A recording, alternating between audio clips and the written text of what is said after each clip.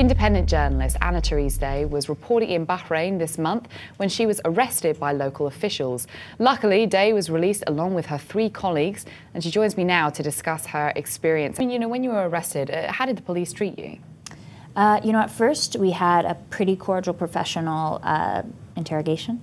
Uh, they this, in a, this was in a station. This wasn't outside. This wasn't when you were in a car. Yes. This was when you got to a station. Yes, they brought us right away to police station. Um, they were very professional at first. Uh, we did enter on a tourist visa. We made that risk, or we made that calculation before, uh, and uh, I right away they, they actually brought me a picture of me uh, in an op-ed that I wrote for HuffPo, and they had pulled up the article. It was about a Bahraini human rights activist. Yeah, we have that article here as well. what was that like? Obviously, there's this detente where they said, "Well, how did you get in?" You said, "We didn't. You know, this is how we got in, and we're surprised too."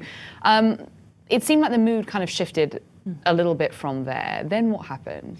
Yes, at about 2.30 the mood shifted because they started asking us about our sources and uh, the types of interrogation strategy switched and I was moved away from my team. I was taken to a different police station and separated from the guys. The embassy didn't know where I was. I knew no one knew where I was. And I was actually taken to the police station in the neighborhood of the protest. So, of course, the, the police had been most frustrated by having foreign journalists on the other side of that front line.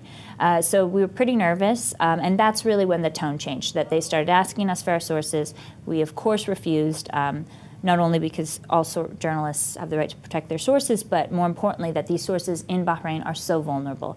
People are hunted on a daily basis for speaking out. So uh, for them to even meet with us is a really high risk for these these protesters, and we certainly wanted to protect their safety. Absolutely, uh, and you know, given the, the, the, high scope and high likelihood that not only a journalist is going to be in prison, but as you say, uh, I mean, the, the cost and mm-hmm. the human toll on civilians as a result of this government crackdown seems to be just appalling. Um, you obviously have materials on you uh, from the you know the filming that you've been doing, the photographing you've been doing. Um, what did they do to to try and get that from you? I mean, you know, were they asking you about that kind of thing? Yes, uh, they were, and uh, they had a hard drive that had some of the material copied. We were quite panicked about that uh, because of again the safety of of the people that we spoke with. Most of them covered their faces when they were interviewed with us. Uh, but you know, just even thinking through it as we sat in custody, you know, I'm trying to remember did did that young man take his mask off? before we pulled the camera down, you know, just at the end of the interview. So we were really panicked about that. Um, but at this point, they, they've confiscated all of our electronics, uh, not only the camera gear that we had on us, but they uh, broke into our apartment when we were finally returned to our apartment right before our deportation. The entire apartment had been uh, totally, uh, uh, totally trashed, um, and thousands of dollars were taken, as well as all of our other electronics. So we were really uh, quite nervous about our safety, and right now they have about $20,000 worth of gear uh, in police custody in Bahrain. Wow. Uh, I mean, yeah. you know, the, the, ransacking, just a sort of violation on, on so many levels of not only your personal safety, but also then just the, the, the safety of the story in and of itself. You know, the, the, the, way that the government seemed to have been so insidious in trying to go after anybody that wants to speak out. Um, obviously, it doesn't escape our audience that you're a woman and you're a woman going into a situation like Bahrain. Now, female journalists have always been and, and, have been for a long time on the front lines, like you are. Um, how did the Bahraini custody and, and the Bahraini police treat you in prison? Uh, I think I was treated a bit differently because I was the producer on the shoot, so they knew that I had the sources in my head. Um, so, so I would say that's probably why I got a more harsher or a much harsher interrogation than, than my male colleagues.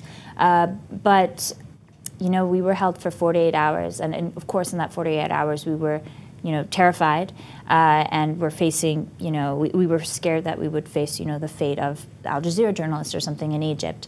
Uh, but just one example, just for a little context, uh, I have a colleague there. Um, Nazeeha Saeed, when she she's a reporter just like me, um, she was reporting on the 2011 uprising. Arrested um, while in custody, she was blindfolded, beaten with a pipe, uh, her head was thrown in a toilet. She was electrocuted. I mean, this is the high stakes of being a Bahraini journalist without an American passport or you know an embassy that will will come accelerate your release. Uh, so as much as we were certainly terrified, we realized you know we we left in circumstances based entirely on privilege, while our our colleagues, again, at least 10 of them are languishing in prison. I think it's extremely important to point that out as you, as you have, and you're so concerned. I know this uh, from, from knowing you is about the, the, the, local journalists who often, as you say, get the brunt and the full force of the government. Um, but for you, I mean, you know, taking it just solely for you and, and the context that you found yourself in, um, what were they telling you? What were they saying that they were going to be doing?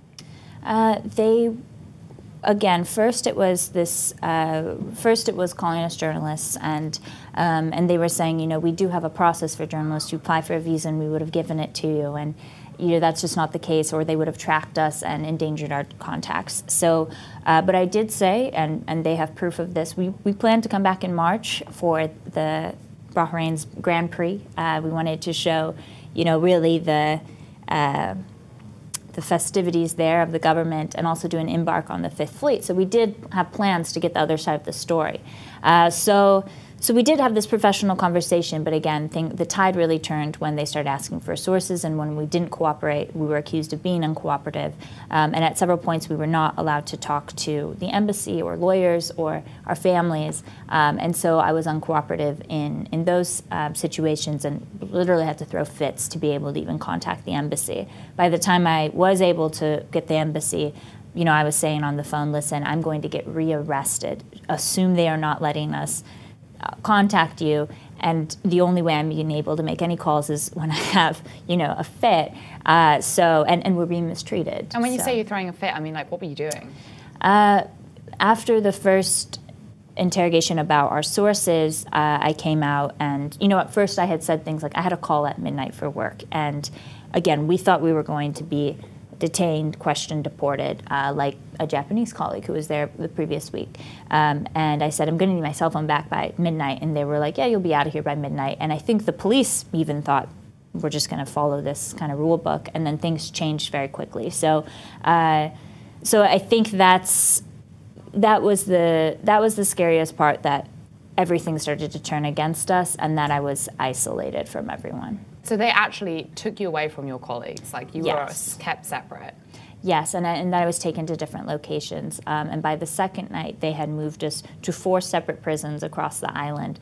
Uh, so, so that kind of, uh, it seemed like they were trying to prevent us from getting the legal access that in fact, after the first day of detention, we complained to the prosecutor when he gave us a sentencing, and he gave a court order. Uh, he said there are laws in Bahrain that protect, you know, people in police custody. They were not followed, uh, and he gave us a court order that the police were supposed to respect, which they did not.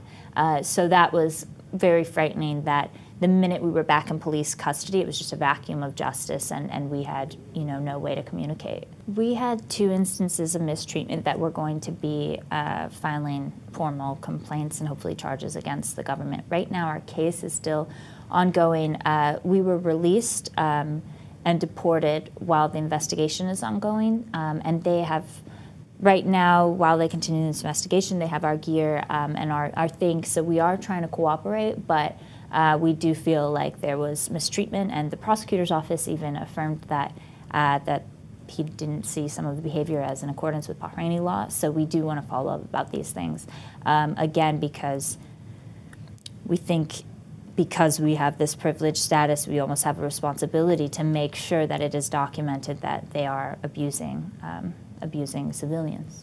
When you're in that situation where you you feel that you're being mistreated, you are being mm-hmm. mistreated, and you've been separated from your colleagues, you've been moved around, you're tired, you don't know really where you are, you're exhausted, you've been covering protests, it's not like you've been on some sort of vacation.